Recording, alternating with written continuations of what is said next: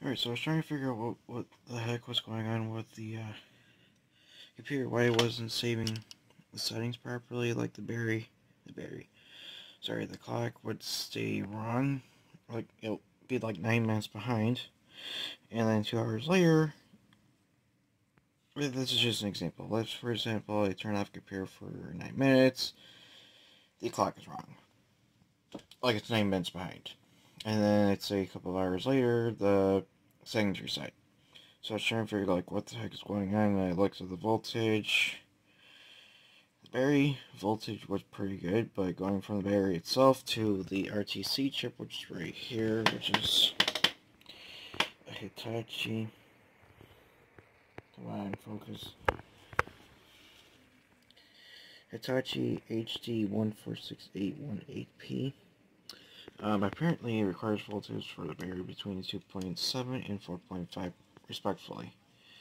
Um, so, this is what I came up with. Um, a Game Boy DMG-01 that I have stopped working, so I decided, what the heck, I was MacGyver or something here. Redneck battery holder. I just took the positive lead off the uh, motherboard off the DMG-01, and placed it right here. I bent those little two small pins right there. These focus. That's not like try to cooperate today. Inward so it'll be nice and snug. And it's for the negative face, right, right at the negative terminal right here. So what I'm going to do is I'm going to put a piece of tape over here to keep this battery in place so it doesn't wiggle out. Yeah, I, th I think I did a pretty good job. I've never done something like this before. This is very unusual. Let's see what happens when I put everything back together. Alright, so I got everything all buttoned back up here.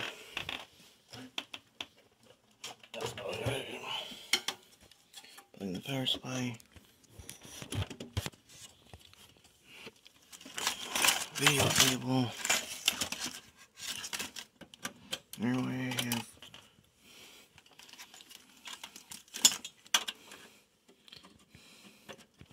the view EISS slot. Because I want to put the network at the bottom there so it'll be a little bit easier for me to everything else situated. Let's go ahead and turn on turn it on. See if we get video. Things. Of course I put the turbo switch in backwards.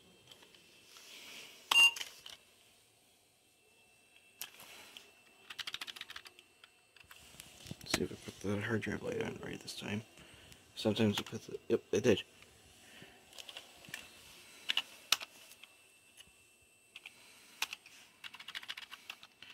Let's see, today's date is July 3rd, 1980, 2020. And the time is no idea what time it is right now.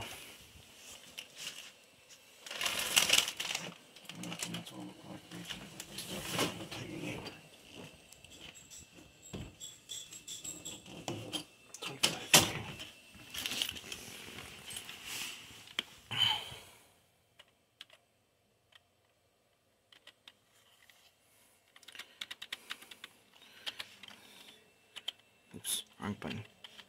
Oops, wrong way, dummy. There we go. Floppy drive A, level. CA 10, say yes. Now I gotta go put the turbo switch in the right way.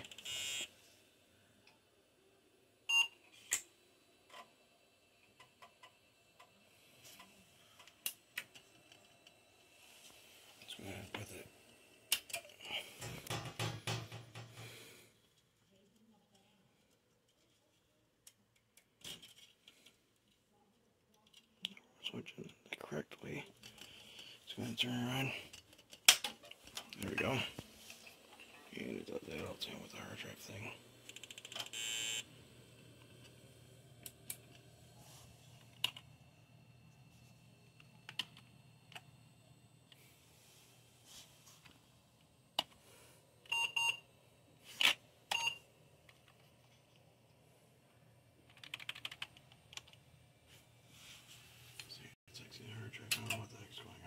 Sometimes it does that. I think it's because of uh, this cable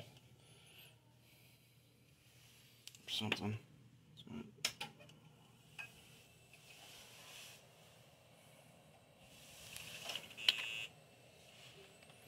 So you can see what time it is right now. It's probably the correct time.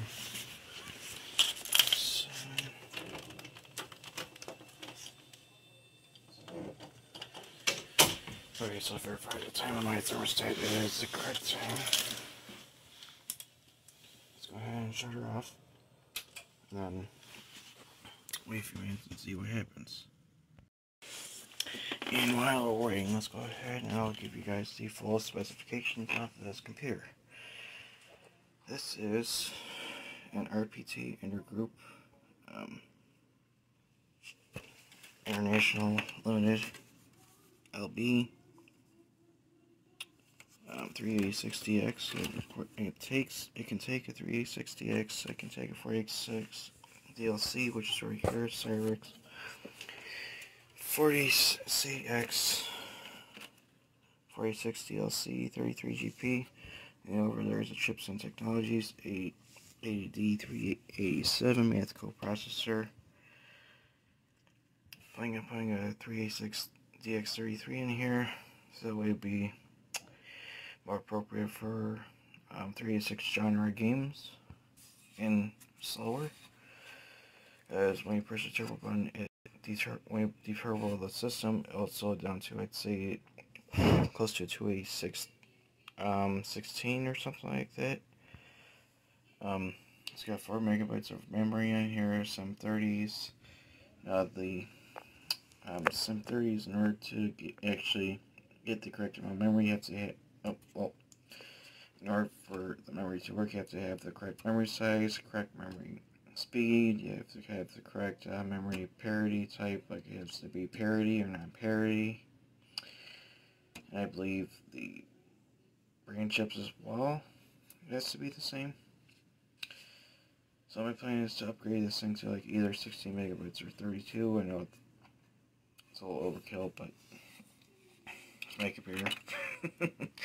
I to do whatever heck I want with it. A KME um, switching power supply 230 watts. The power supply switch is right here in the back which is actually pretty darn cool. You don't see that in computers these days. They're all up front. The computer I have the case this case right here the switch is up front. That case is from the early 1980s and I still gotta spruce that thing up and do some painting on it but yeah again AT power supply so I can use this old switch again I love using the old toggle rocker switches.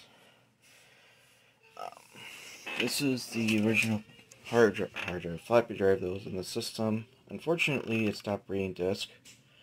So my guess is the alignment went bad on the heads or something when I tried to fix it, but I gotta try to figure that out. But I did find a spare drive. It does not match the case correctly, but it does work. I did lubricate the rails on this thing and seems to work for just fine. Um, 5 inch 1.2 megabyte floppy drive.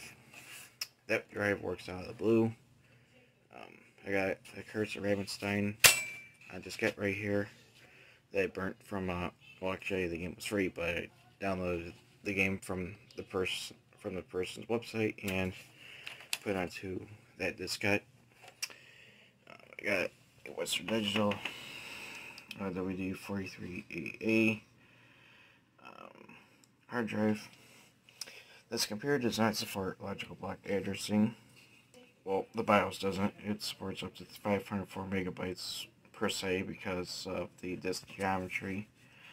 Of disk geometry because of lack of LBA 20, um, uh, L, logical block addressing, which was um, introduced on later 46 machines. I know the early 46 motherboards also had the um, limitation on it, but there are um, I/O controller card, like um, uh, the, the, the, IDE controller cards. They have the enhanced BIOS, like the SIIG um, variants. I believe some other cards did that too, but those things are hard to come across, anyways. So, what I did, oops, that's the mini card. Okay, so what I did was I put in my 3COM 3C509TP card, and I put XTIDE Universal BIOS on this chip here, 32 kilobytes. Seems to work quite well.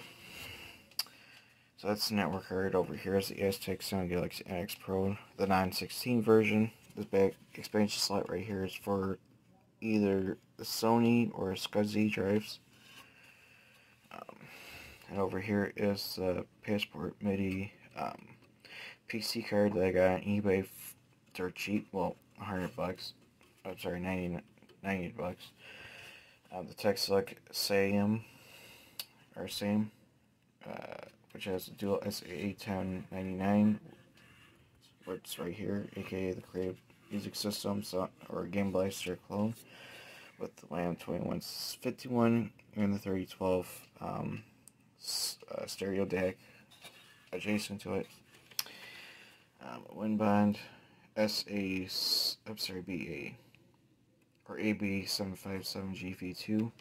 I can't find a way to disable the parallel port on here or or COM port 2 because this thing is conflicting with the parallel port at the moment.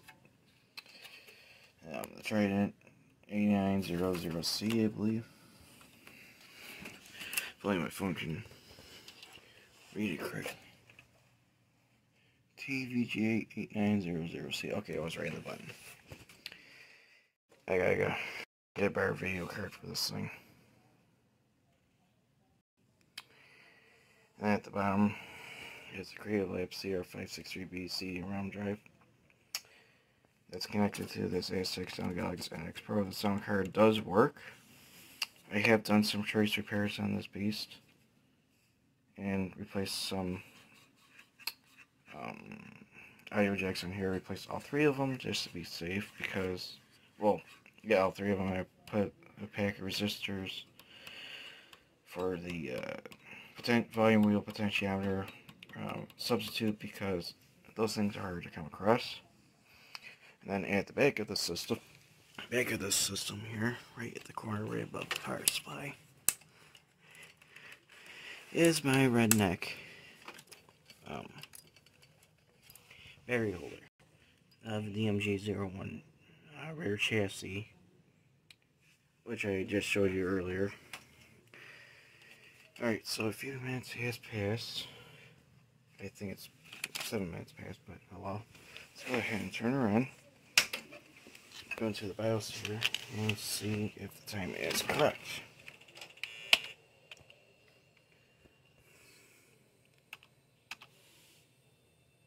Uh, C0035. I think that time is correct, but me make sure.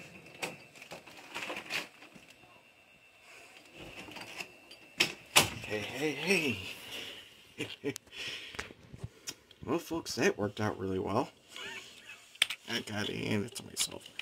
And, of course, I also thank about Disappearing Ink on Discord for the assistance with it. Couldn't have done it without him. And everyone else for this particular um, issue that I've been having. I thought it was the RTC chip in of itself that was having issues, but it turned out it was just a low voltage on the power on the power supply for the battery. Okay, so let's go ahead. Okay, so I got the uh, operating system, the files copied from the 16 gigabytes SSD that's in my Packard Bell, which needs repairs. Motherboard that I got on eBay was junk. Doesn't even want to turn on. Almost got it to work. Okay, so there we go. It's got 4 megabytes of memory in here. It's got 64 kilobytes of level 2 cache on this motherboard. The processor in of itself has a whopping 1 kilobyte. this computer is really slow for, for a few games here and there, but I'm actually quite happy how this turned out. I gotta give this thing some TLC. Um, primarily, you need to get rid of the yellowing. That's over here. Like, it is slightly old, like right here and everything, but some of it does, it, let's say like 90% of the cases yellow right up front here, but oh no, it doesn't look too bad. And for a $10 system and a really cheap fix, choice, doing the trace repairs and putting better, better battery connections on here, I'd say it turned out really well.